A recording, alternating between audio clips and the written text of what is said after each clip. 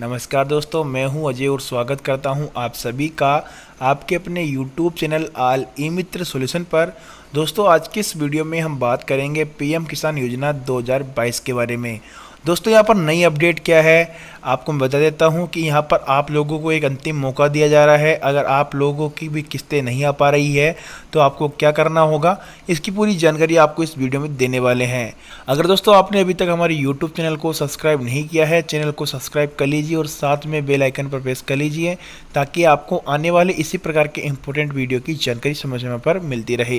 तो दोस्तों, शुरू करते हैं आज का ये वीडियो। तो दोस्तों, यहाँ पर हम बात कर रहे थे पीएम किसान योजना के बारे में कि यहाँ पर जो किस्तें नहीं आ पा रही है, उसका रीज़न क्या है। दोस्तों, मैं आपको बता देता हूँ कि अगर आपने अभी तक अपनी ई के नहीं की है तो यहाँ पर आपकी किस्तें नहीं आ पाएगी। और यहाँ पर दोस्तों, मैं बता दूँ कि इकतीस तक बढ़ाई किसान सम्मान निधि की ई के की तारीख, यानी कि दोस्तों, यहाँ पर जुलाई इकतीस इसकी लास्ट डेट थी, लेकिन यहाँ पर कई लोगों ने यहाँ पर अभी तक के नहीं की है, जिसकी वजह से राजस्थान सरकार और गवर्नमेंट ऑफ़ इंडिया, यानी कि भारत सरकार, समय समय पर इसकी लास्ट डेट बढ़ा रही है। तो दोस्तों, मैं आपको बता देता हूँ कि यहाँ पर आगे अपडेट क्या है। यहाँ पर आगे अपडेट है, इकतीस तक आधार अपडेट नहीं कराया तब बंद हो जाएगी आपकी पीएम किसान योजना की निधि। यानी कि अगर आप अब यहाँ पर अपना के नहीं कराते हैं तो आपको यहाँ पर किस्तें नहीं दी जाएगी।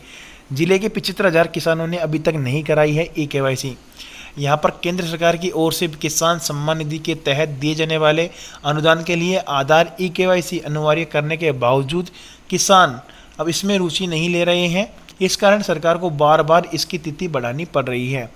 ई के के लिए पहले अंतिम तिथि इकतीस मार्च तय की गई थी, लेकिन अंतिम तिथि तक सिर्फ़ 20 प्रतिशत किसानों ने ही ई के करवाई। सरकार ने इसकी तिथि को बढ़ाकर 31 मई बाद में 31 जुलाई की, लेकिन 31 जुलाई तक भी अधिकांश किसानों ने ई के नहीं करवाई।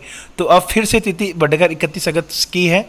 ज़िले में किसान सम्मान निधि योजना के तहत दो पॉइंट पच्चीस लाख किसान अनुदान ले रहे हैं।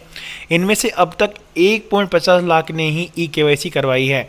ज़िले के पिछहत्तर हज़ार किसानों ने अगस्त इकतीस तक ई के नहीं करवाई तो उनकी आने वाली किस्तें के भुगतान से वंचित रह सकते हैं।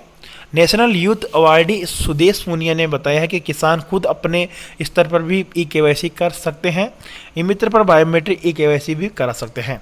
तो दोस्तों, मैं आपको बता दूँ कि यहाँ पर जिन लोगों ने अभी तक भी ई के नहीं की है, वो ई के अपनी जल्द करा ले। अगर वो ई के नहीं कराते हैं तो उन्हें किसान सम्मान निधि योजना में मिलने वाले किस्तें नहीं मिल पाएगी और वो हमेशा के लिए परमानेंट बंद हो जाएगी।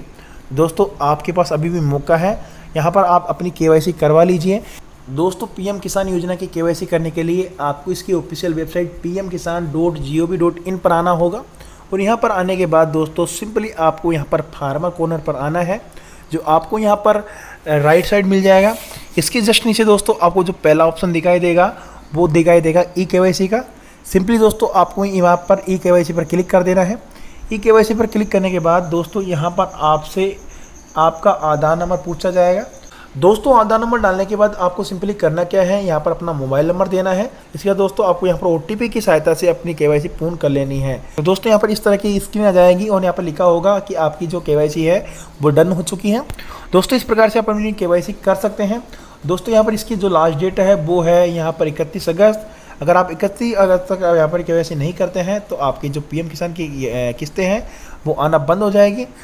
तो दोस्तों, उम्मीद करता हूँ कि आज का ये वीडियो आप लोगों को अच्छा लगा होगा। वीडियो अच्छा लगा, वीडियो को लाइक कर देना। अगर आपके मन में कोई भी सवाल, जवाब है तो कमेंट बॉक्स के माध्यम से आप हमसे पूछ सकते हैं। तो दोस्तों, इस वीडियो में बस इतना ही। फिर मिलते हैं नए वीडियो के साथ। तब तक के लिए जय हिंद, वंदे मातरम।